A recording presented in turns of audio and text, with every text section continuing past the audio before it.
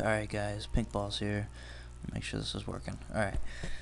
Um doing a tutorial on how to texture models. Uh, tools you're gonna need, you're gonna need a uh, Photoshop.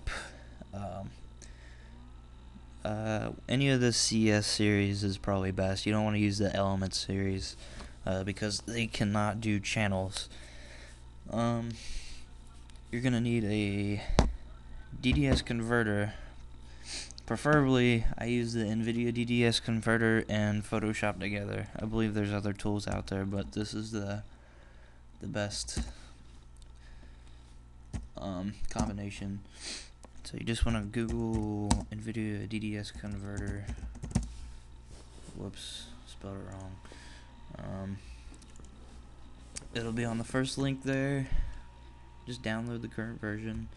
Um, once you have it downloaded, just uh, install it into your Photoshop directory. Then you can open DDS files. It'll be incorporated right into the program. Um, this is a DDS I used for a weapon I made in Battlefield.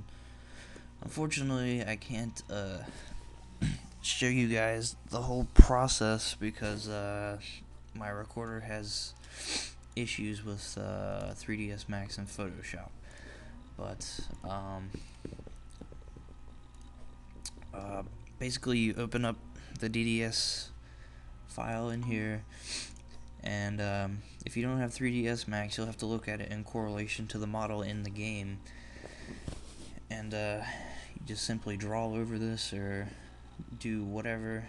If I wanted this model to be, uh, if I wanted the body of the model, which is this top green part here, if I wanted that to be a different color, I would just select the upper area and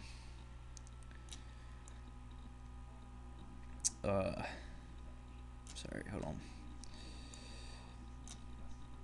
Just, you know, select the upper area and do some adjustments on it. If I wanted it to be like, I don't know, purple or something,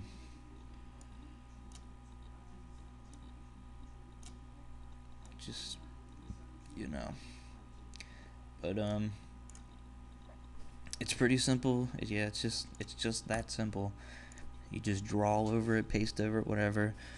Um and if you want to do alpha channels on something I have a tutorial for that on the forums already.